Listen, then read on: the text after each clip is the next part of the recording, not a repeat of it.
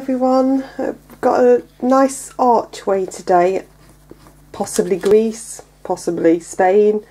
Um, I think we've done something very similar in the past as I've been drawing it out. I've I've been looking at it thinking, hmm, have we done something similar? Um, but I'm going to do this um, with a little bit of mixed media today, so it will be different if we have done something very similar in the past anyway. Okay, so what I want you to do is draw it out. I've actually gone smaller than the full sheet, but you can go the full sheet if you want to. Um, I've actually started by getting this shape at the top and then working my way down the steps and make sure I get this line in here and then lastly the light just up here. Um, I've taped around the colours that I've got raw sienna, permanent rose. I've got light grey which is made with with cobalt blue and burnt sienna, a dark grey which is made with ultramarine and burnt sienna, and then I've got a tiny bit of gamboge and intense blue to make a green. I've put no water in that green. I want it to be nice and thick. Okay, so to start with, I'm going to come to this top section at the back. So I'm just using my round number 10 to pop some water on. I don't want to put too much water on at this stage.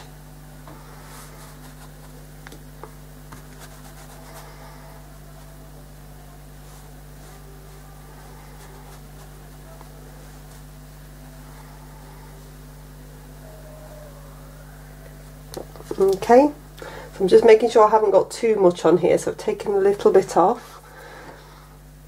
I'm going to come in with a little bit of raw sienna.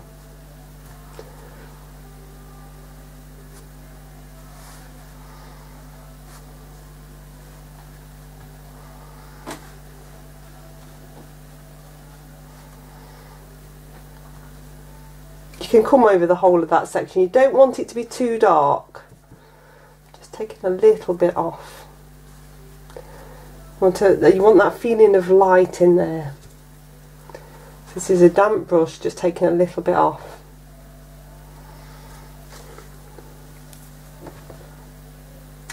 We're going to come into the mid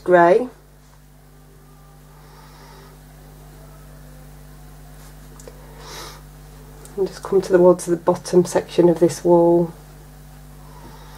I don't want you to worry about the, the bougainvillea at all. We're going to put that on later. So there's not much paint on the brush here. I just want to get that really nice soft effect of, of the brickwork that I can see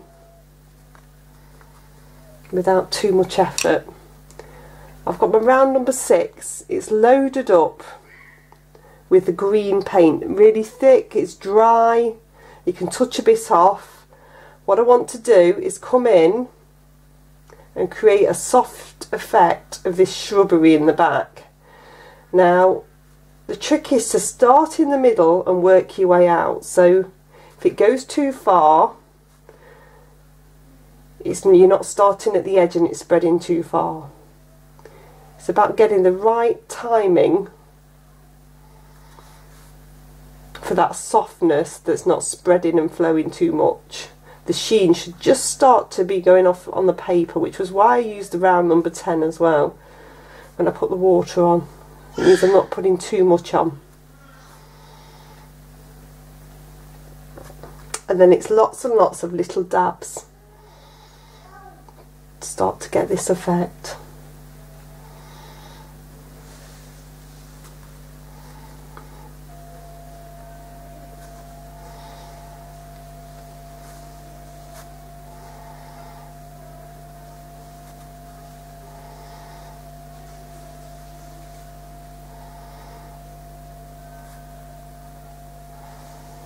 Can make sure you get some towards the edge of this wall here you get that really nice contrast between the light and the dark happening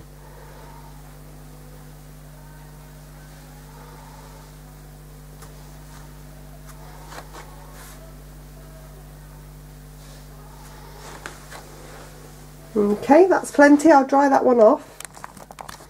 Okay, so we're moving along now. I've dried that section off. We're going to come on to this next section.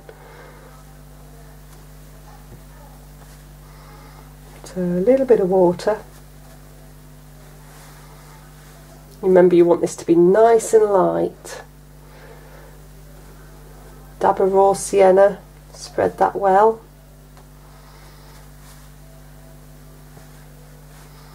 Fact if you leave odd little bits of white it will work really nicely. And then with my number six I'm going to come in with a little bit of grey. I don't want you to worry about the doorway yet. Don't worry about that just yet. That's coming later.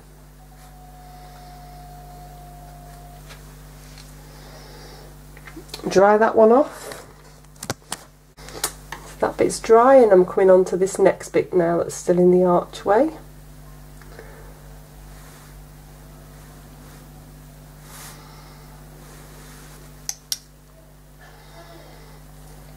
There's a little bit of water. a little bit of the raw sienna, a little bit of the grey. So I'm just trying to make sort of brick shapes.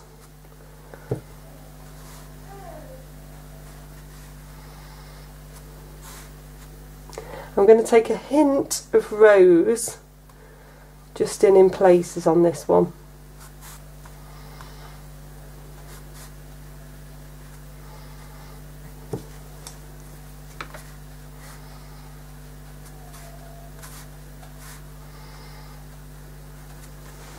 Okay, and then I'm going to dry that one off.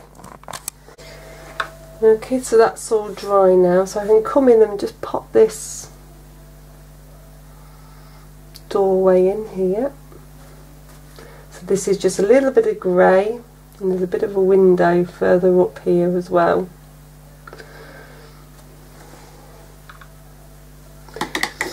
So that's just a little bit of the mid grey onto dry with my number six. I'm just going to just soften that one side in there and then just do a little bit of a line there to indicate a windowsill.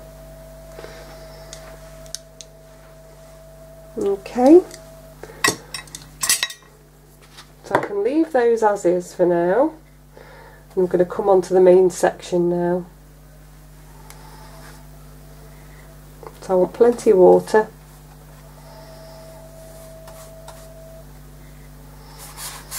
and we're going everywhere but that archway now. We're going to get a bit of a base on.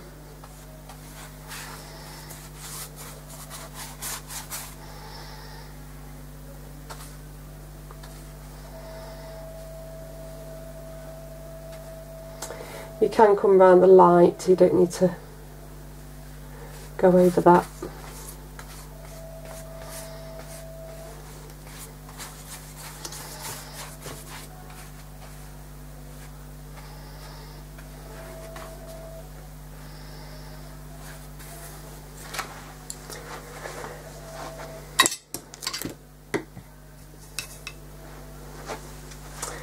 We've all got bits of colds already this week. Start of going back to school. Luckily nobody's had any coughs or high temperatures yet. So we've not had to get tested.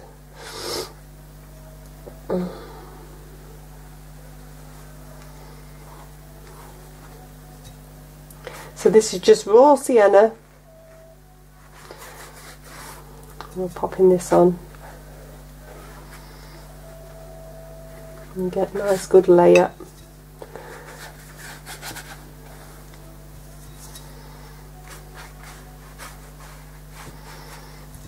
If you think about where it's darker and where it's lighter, you can put more of the raw sienna on. Leave some bits a little bit lighter.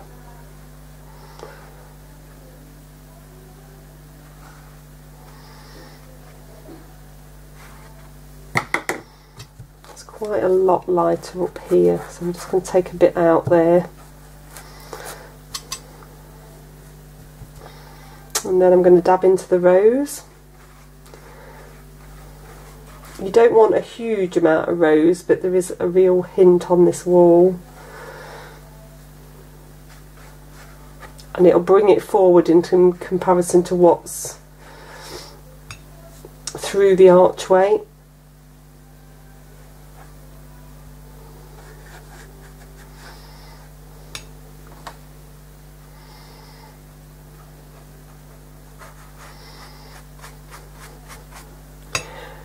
I'm trying a little bit to follow the direction on the steps, just the horizontal strokes just tends to help a little bit and so does the verticals that I'm doing there.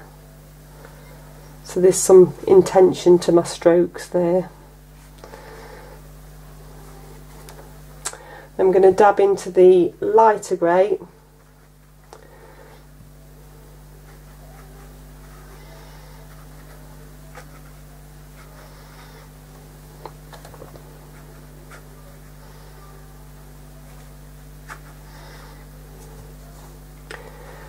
concentrate on getting it in those darker areas.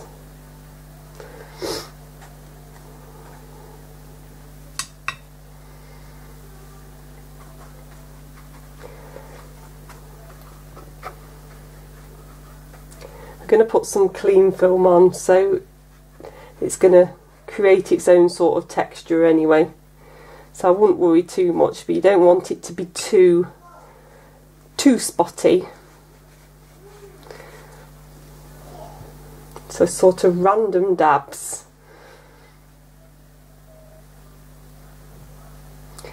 Just do a little bit better edge there.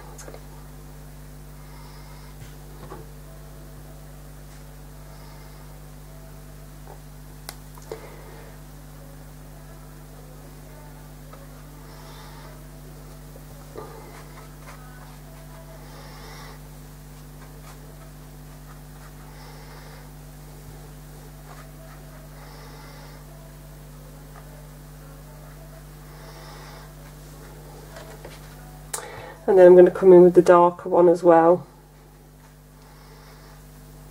So this is the, the really dark one. You can always add little bits later. It's very hard to take it away. So don't go too mad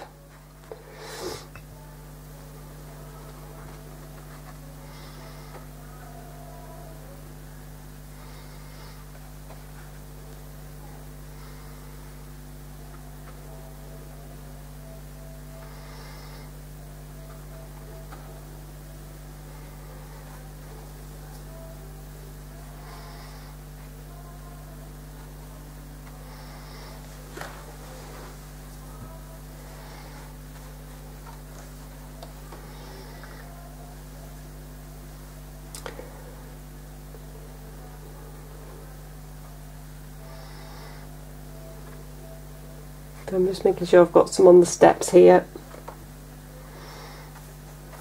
Okay, it's clean film time. I'm going to take a nice piece of clean film. Try not to get it stuck to me. I'm going to place it over the top. And we're thinking texture. So I'm going to scrunch a little bit at the top scrunch a little bit at the sides and then I'm going to scrunch, try and scrunch a little bit more horizontally. We try to do these things, sometimes it's it works, sometimes it doesn't. We'll give it a good go. So we've just got a bit of texture happening there. Okay, and I'm going to let that dry naturally. Okay, so I've dried, I've peeled that off and made sure that it's nice and thoroughly dry. I've got some really lovely texture happening.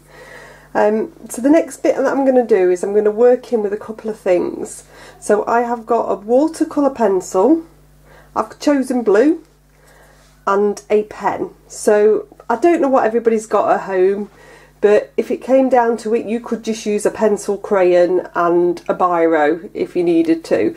Um, the pen is a sepia um, waterproof drawing pen. Some of you will have those.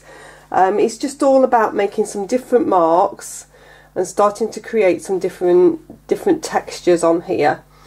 Um, so the first thing that I'm going to do is just draw in with the pencil So because I'm using a watercolour pencil it means that if I take any more paint on this will move or I could take a little bit of water on and it would move as well. And I'm being quite loose with my marks. You could use it on the side if you wanted to. I, I can't really see where my lines are at all so I'm just going with it and making new lines so this is going to help you get your steps back in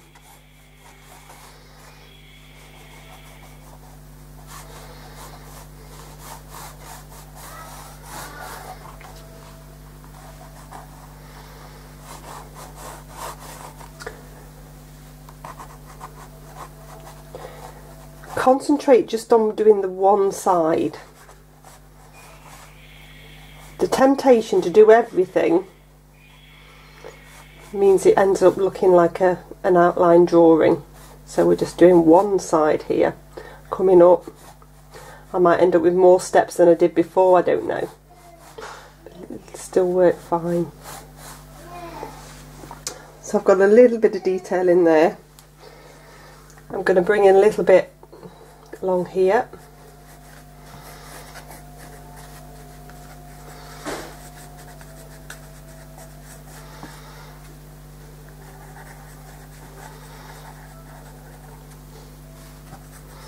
Again, these are just little marks where there might be texture of stones. Think random squiggles so you don't go too mad.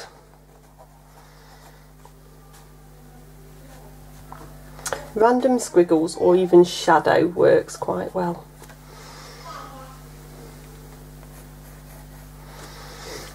Okay, I'm going to come in with the pen. So I think I'm going to do this with the pen because this will really then stand out, which I want it to do. Remember this is waterproof so I can come over this and it's not going to move. The other one is water soluble so if I go over that it will move. So it's just thinking about what you want to achieve.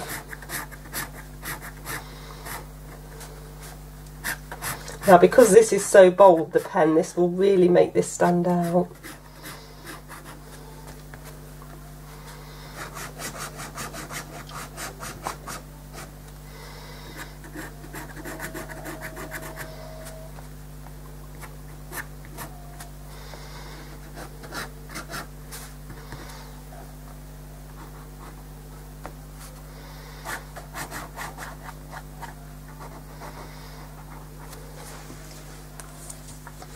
And then I want you to think carefully about where you might be using any other marks with this pen. Because everything else that you'll be doing will be detracting from this light. So I don't want you to go too mad. I think some of you will prefer the pen, others will prefer the looseness of the watercolour pencil. If you think about where, where it's dark, that's always a good point to pop bits in.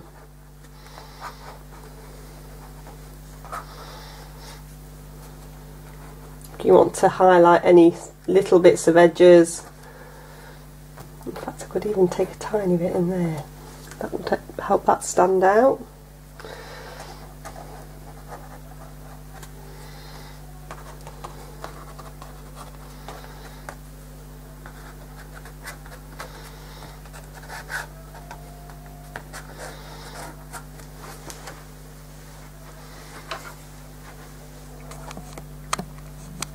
Okay, I'm going to come on with some paint next. Okay, so I'm coming on now onto dry with some watered down mid grey.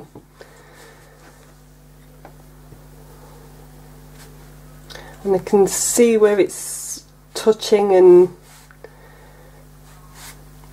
making the blue run, which is quite nice.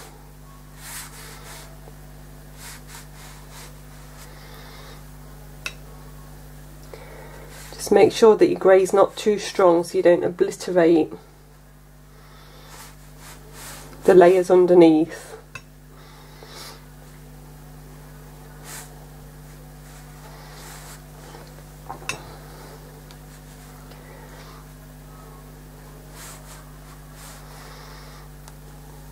Mm, you're able to get that sense of darkness now and that's shadow.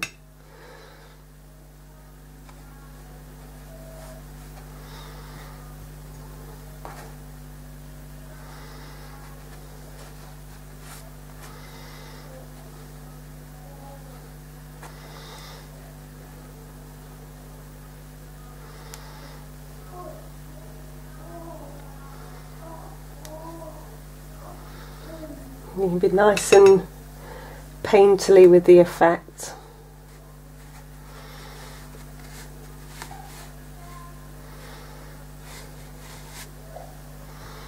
A few watermarks will work quite nicely on something like this.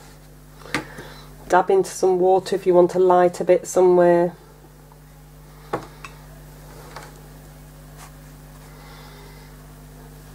Just take a little bit on this wall.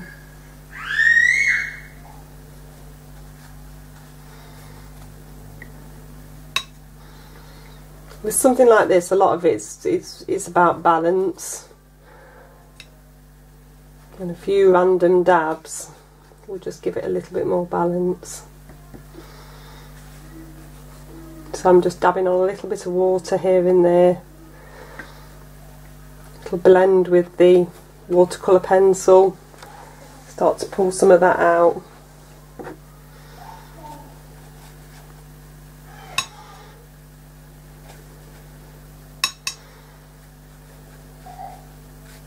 A little bit more grey just going over there.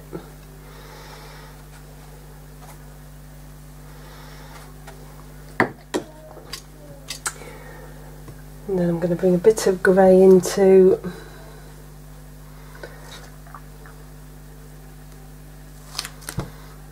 I'm just following the shapes into there. Right, I'm just going to dry that one off. Okay, so I've dried that off and what I'm doing now is just coming in with a few bits of extra dark. So I'm mainly concentrating on the dark around the steps and then I can dab a little bit of water to blend that. So just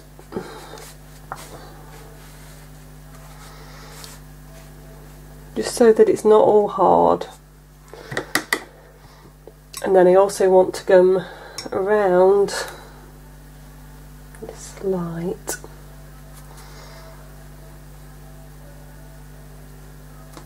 make that a bit darker.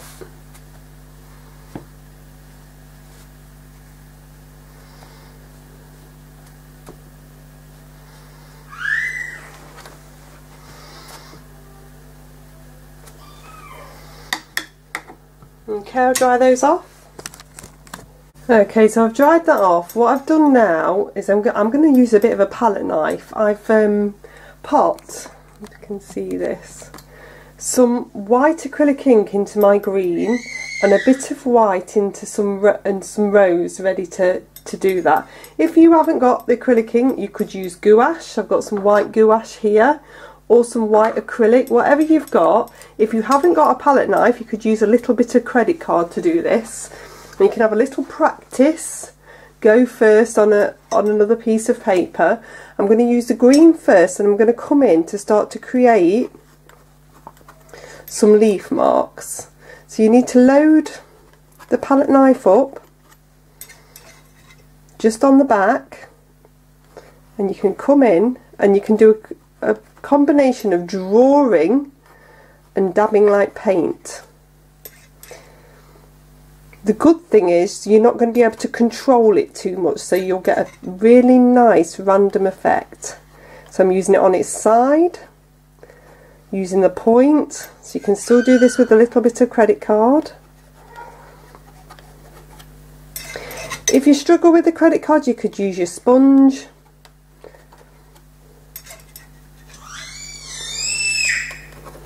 Penny's been quite vocal. I don't know if you can hear that.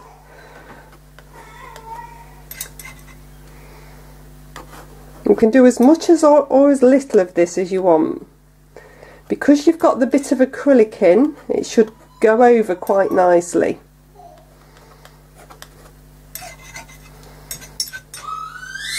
You should have really good coverage.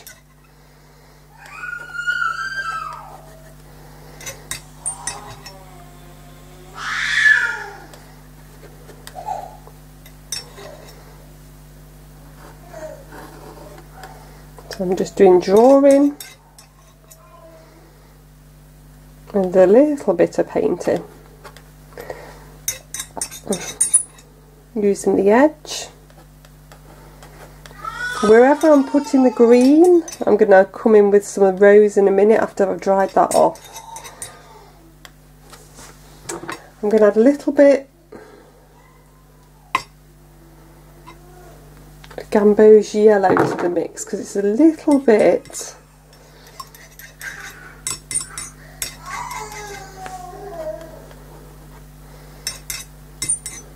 on the blue side so just by taking a little bit in with the Gamboge yellow you'll get those little highlights as if the light is catching the leaves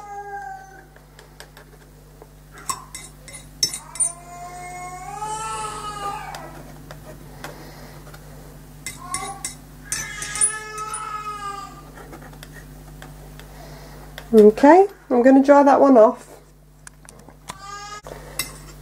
So once you've dried your green, you can come in and do the same with your rose. So just vary the way that you're hitting the paper with the palette knife. If you don't mix your colour very well as well, you get dark and light patches.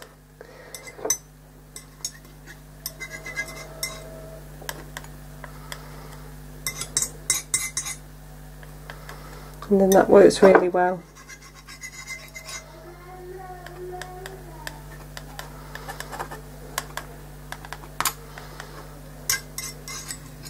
You can do as much of this or as little as this as you want. You can use a sponge if you don't like this effect. And that's pretty much it. Okay, I'll see you next week. Bye.